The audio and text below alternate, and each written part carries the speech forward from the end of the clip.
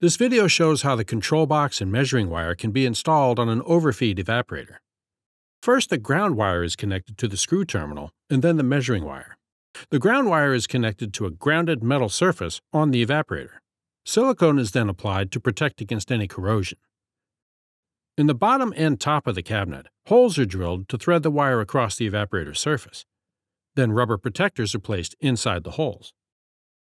The wire can be placed at any spacing between 50 and 500 millimeters, depending on the evaporator size.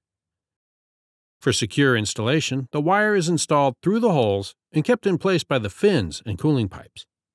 When the wire is installed on the desired area, the wire is cut to length and covered with an insulated screw terminal. Attach the power connection, analog output, and the cable for setup. Then the sensor is calibrated in the HB tool.